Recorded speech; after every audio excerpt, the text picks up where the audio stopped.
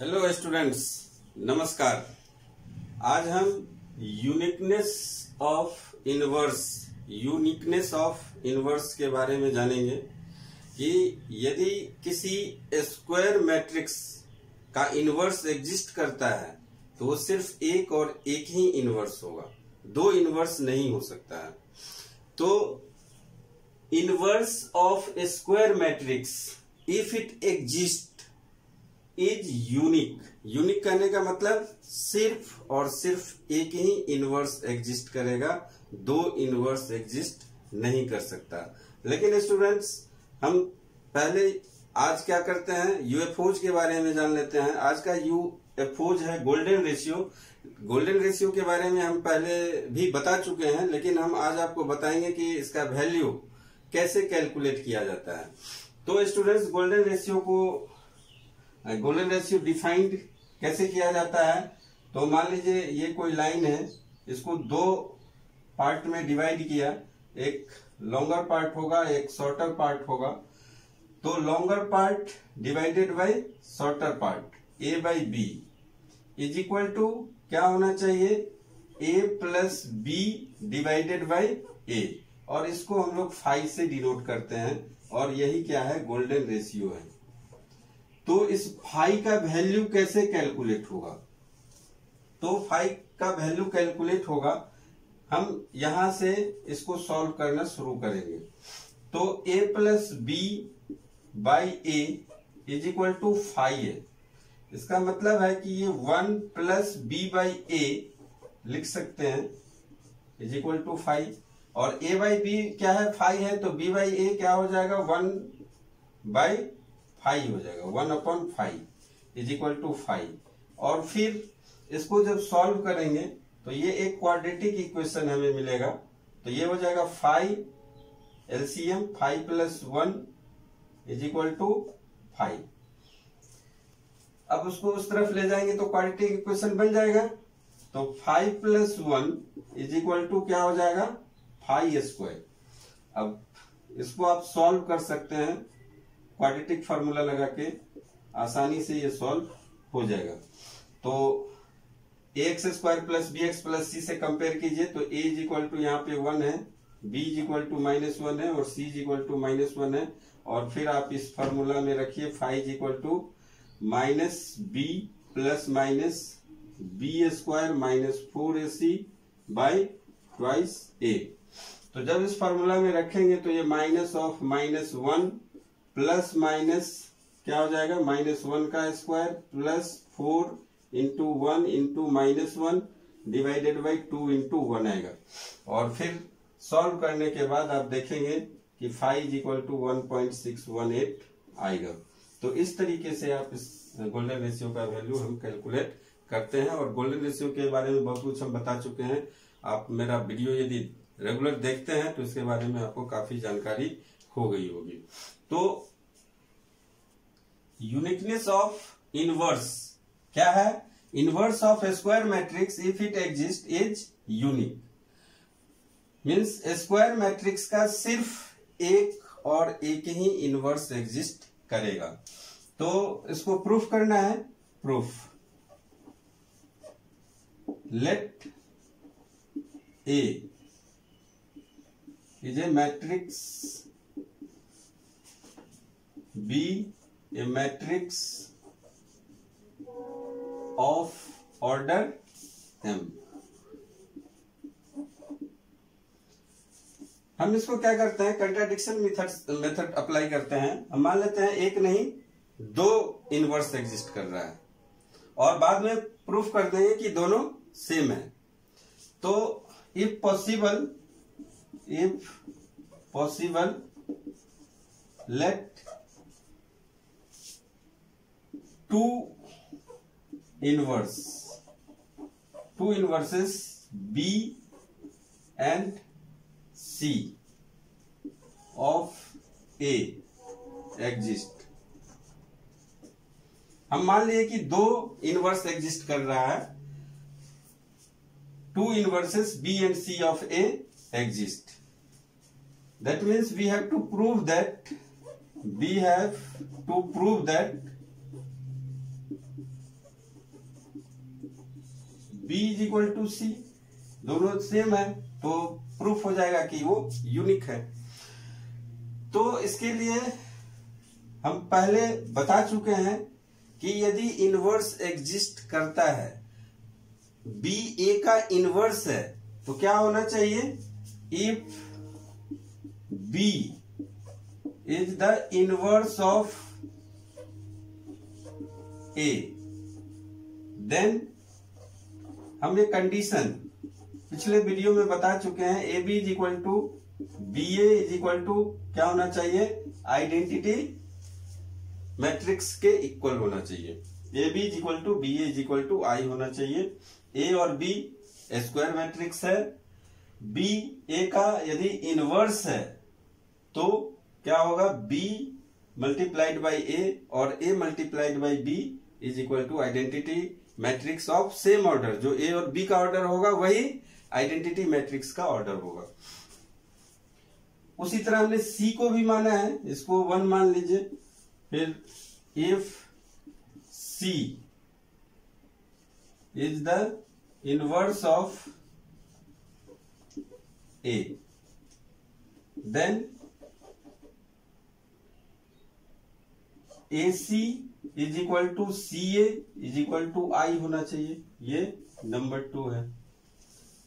Now अब क्या करना है? B is equal to C proof करना है। तो b लेके चलते हैं।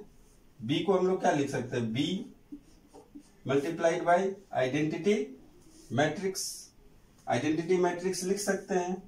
और b is equal to B multiplied by identity matrix इसको हम लोग क्या लिख सकते हैं? B और i को यहाँ से हम लोग क्या ले सकते हैं? Ac ले सकते हैं या सी ए ले सकते हैं? तो ए सी ले लेते हैं ए सी आई को हम लोग क्या ले लिए? ए सी ले लिए फ्रॉम टू अब यहाँ पे हम लोग क्या करेंगे? बी और ए को एक साथ मल्टीप्लाई करेंगे और सी को अलग कर देंगे।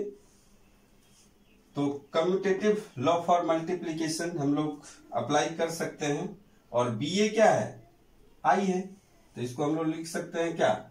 यहाँ पे लिख दीजिए आई सी फ्रॉम वन और आई सी को हम लोग क्या लिख सकते हैं? सी लिख सकते हैं।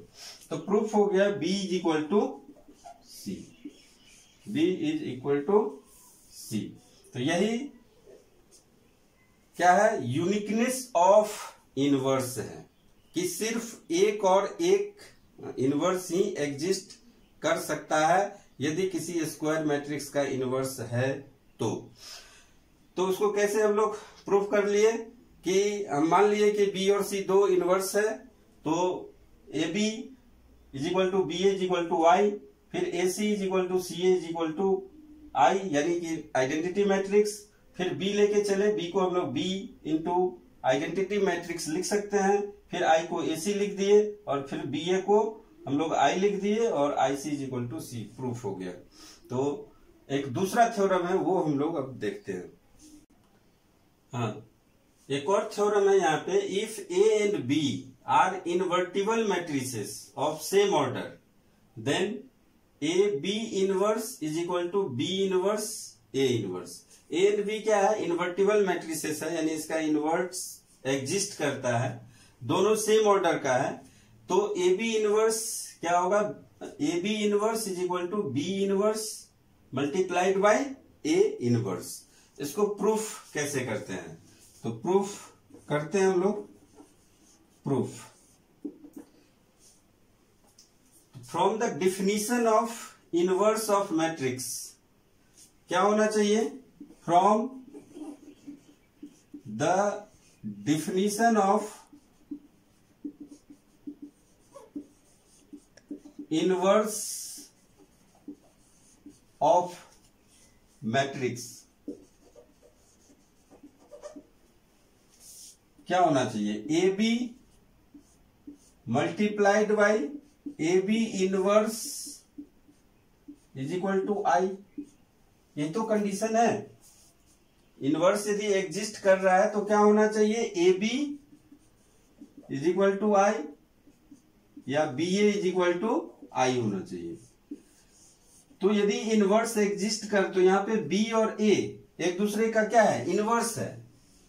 तो इस डिफिनेशन से हम ये भी लिख सकते हैं ए और बी यदि इन्वर्टिबल मैट्रिक्स है तो मैट्रिक्स है तो उसको, उसका मल्टीप्लीकेशन, उसका प्रोडक्ट क्या होगा? वो भी इन्वर्टिबल होगा। तो इन्वर्टिबल है तो क्या होगा? A B multiplied by A B inverse is equal to I होगा। फिर हम क्या करते हैं?